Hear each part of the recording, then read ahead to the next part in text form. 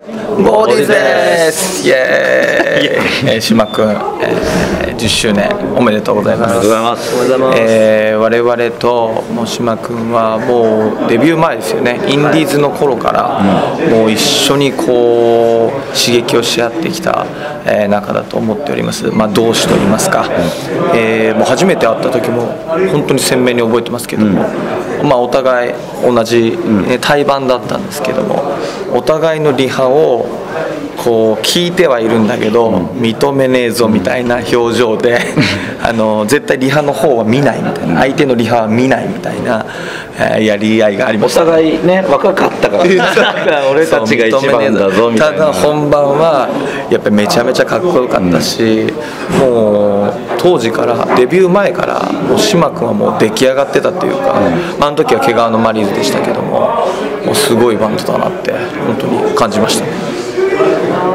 まあ、ずっとこう転がり続ける人なんだろうなっていうふうには思っています愛情がすごい深いというか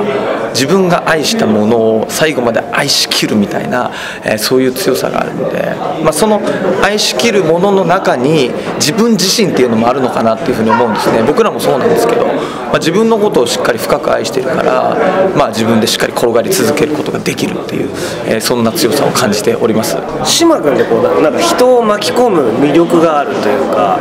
飲み行く時も別に約束してたんじゃなくて下北とかでばったり会って「おお何してんの?」って言われてあ「俺飲み行くんだよ」っつったら「あじゃあ俺も行くわ」っつって勝手についてきたりして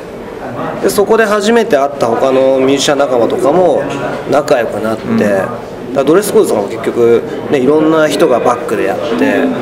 やってるじゃないですか。だからそういうのってこう島君のこう人を引きつける魅力っていうか、まあ、そういうのすごい感じますね、はい。でもあのステージステージ立った時もそうなんですけどあのオーラがすごいなっていうのはあの、まあ、普通にあのライブハウスとかで会った時も感じますけどもうなんか島君いるだけで世界がなんか島君の世界がそこにあってみたいのはすごく感じてました昔から。逆にどうですか？なん僕の中だとなんかすごい誠実な人です なんか一見こうすごいいろんなことやったりするからなんていうかこう頭柔らかくてもすごいなんだろう、まあ、もちろんチャレンジャーだと思うんですけどそれを全部こうちゃんと形としてできてるのも音楽に対したり何事に対してもちゃんと誠実だからできてるんじゃないかなと僕は思います。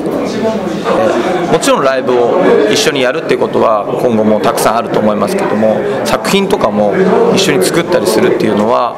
まあ、こう節目節目でね、こう40代で一緒にやっても面白いだろうし50代で一緒にやっても面白いだろうし80でね。80は